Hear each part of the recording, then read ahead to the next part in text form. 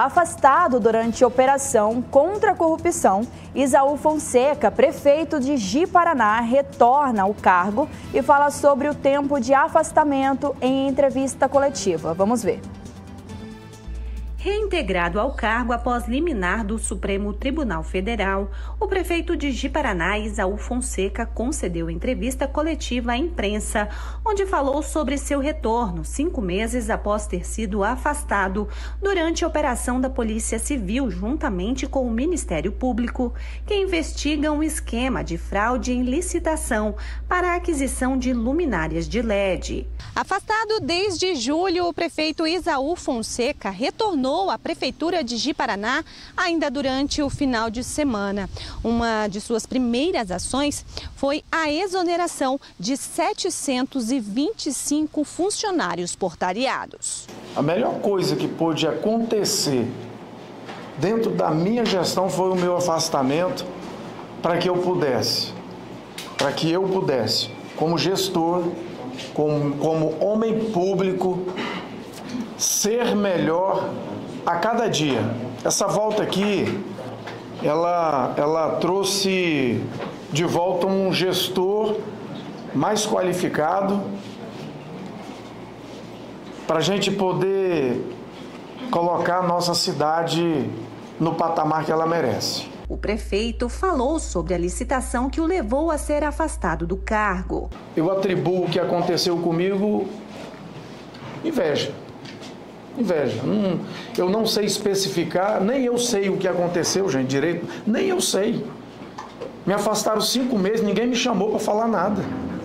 Cinco meses. Ninguém me convidou para falar, vem aqui. Ninguém me perguntou nada. Eu estou esperando me chamar para me defender. A lâmpada de LED está no poste. Está iluminando a cidade. Quando o empresário coloca, por exemplo, o empresário que ganhou a licitação, colocou a lâmpada no poste, está iluminando, o que, é que a prefeitura tem que fazer? Pagar. Foi pago 17 milhões para a empresa, esses 17 milhões virou como se eu peguei. Além do seu retorno ao cargo, a decisão do STF também suspendeu medidas cautelares que proibiam Isaú de sair do Estado e manter contato com outros investigados. Então, graças a Deus, a Justiça entendeu que deveríamos voltar, a Justiça me afastou e a Justiça me voltou. Eu, eu agradeço o trabalho da polícia, agradeço o trabalho dos promotores, agradeço o trabalho dos juízes, porque cada um na sua esfera, eu tenho certeza que fazem um melhor para a nossa população. Por exemplo, eu fui afastado. Você me perguntar, você gostou? Não. Mas depois de dois meses, eu comecei a refletir muita coisa. É, a, reflexão é importante, dependente do que tem acontecido. O homem, ou a mulher, enfim, sempre que faz as suas reflexões, e geralmente na dor, é que a sabedoria ela, ela floresce, se exercita essa, essa qualidade no ser humano, é exercitada.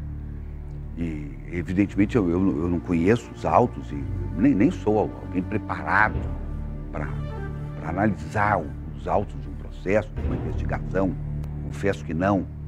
O que a gente sabe, por exemplo, é que, que alguém ficar cinco meses afastado, sem existir ainda um processo, é, é um tempo demasiado. Porque não podemos esquecer que o prefeito foi eleito pelo voto popular. E não se entrou no mérito. E, e veja bem, o, o, a volta do, do prefeito Isaú não está dizendo que ele é inocente. E quando tiraram ele, também não quer dizer que ele que era culpado. Ele não foi julgado ainda. Isso tem muita coisa para acontecer na esfera judicial, se é que vai virar realmente um processo. Agora, é, é importante a gente aguardar e não fazer pré-julgamento.